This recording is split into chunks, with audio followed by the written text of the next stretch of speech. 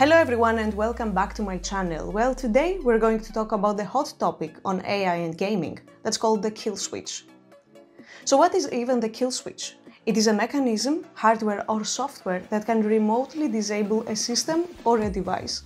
Think of it as a digital off switch that someone other than the user can activate. You must have encountered this on your everyday life. For example, if you lose your iPhone, if somebody steals your car, there are procedures to shut down. The purpose of a kill switch is often to provide security or control. However, it raises a critical question. If a third party, let's say a company or a government, can disable a device, do you truly own it? This is where the controversy begins because the very existence of a kill switch can create a vulnerability that hackers could exploit. If a powerful entity can remotely control a device, it can be a tool of surveillance or even sabotage.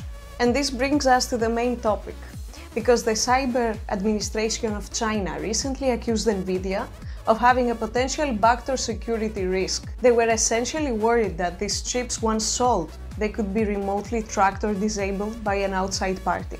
Now, NVIDIA's chief security officer, David Reber, responded with a strong statement on a big blog post that was titled No backdoors, no kill switches, no spyware.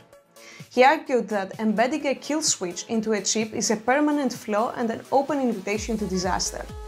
Reber emphasized that such a feature would undermine global digital infrastructure, and he made an excellent analogy saying that it's like buying a car where the dealership keeps a remote control for the parking brake. Now you have to understand that this debate is not about a single product, but it is about the future of technology and security. I wouldn't like it, for example, as Reber said that the dealership would have an off switch for my car. I mean, they already do, there are some cars, I don't want to say the brand, that if they get stolen, you just call them and then they deactivate the SIM card inside the car, so then the car loses some of its functionalities. And also it makes it easier for the, for the police to track the stolen car. But what it also does that many of you do not know, and I know because I've worked there, is that it also disables you as an owner of a car to track your car.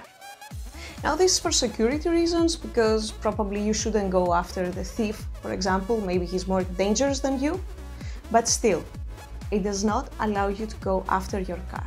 The kill switches are not a new thing. This debate is being aired now because Nvidia is actually the target of this attack, let's say, but it is for many, many more products that we can ever think of. Now, what is your opinion on it? Should the kill switch be incorporated in the future of technological products or not?